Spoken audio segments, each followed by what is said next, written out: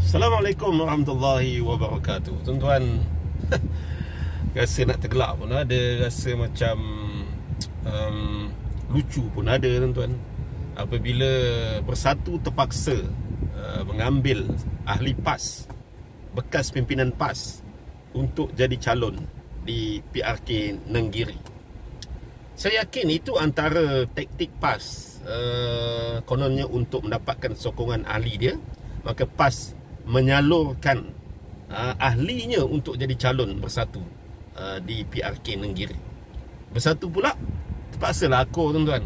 Uh, sebab bersatu tahu dia tak ada kekuatan.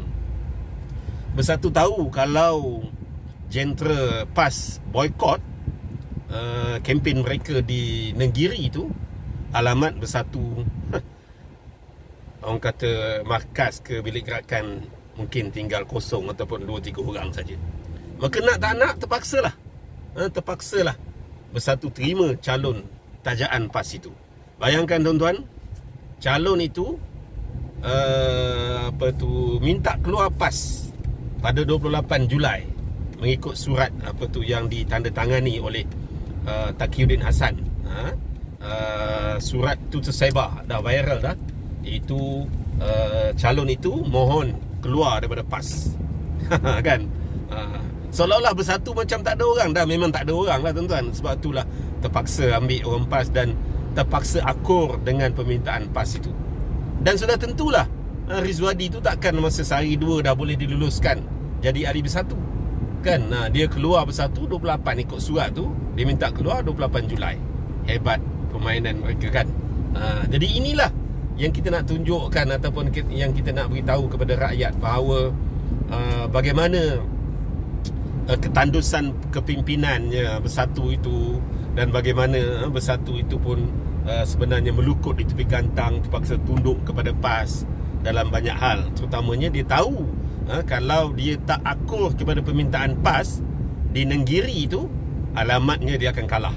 Uh, jadi untuk apa tu untuk takut kalah okey terpaksalah uh, akur. Dan terpaksalah kita lihat bagaimana calon itu berbaiat ha, calon bersatu berbaiat macam calon PAS tuan-tuan. Jadi uh, satu isu lagi lah apa yang Ustaz Ridwan Abu Bakar uh, nyatakan uh, dulu masa apa tu uh, pemimpin-pemimpin amanah dibuang daripada PAS ataupun keluar PAS uh, dikatakan hukumnya haram. Uh, bagaimana sekarang ni? Pertanyaan uh, Ustaz Ridwan, uh, bagaimana sekarang ni orang yang tanda tangan surat eh, untuk Rizwadi keluar PAS.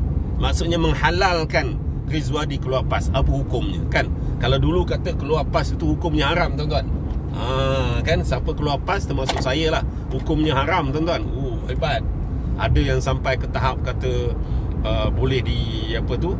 Di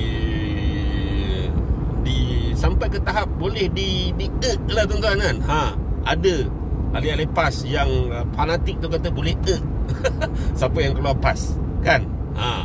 jadi sekarang ni apa hukumnya? Ha, apa hukumnya pula? Orang yang sign surat membenarkan orang keluar PAS. Setiausaha Agung PAS yang sign surat uh, merestui Rizwadi keluar PAS apa hukumnya? Ha, jadi kita nak tanya uh, kepada kepimpinan PAS. Jumpa lagi. Assalamualaikum warahmatullahi wabarakatuh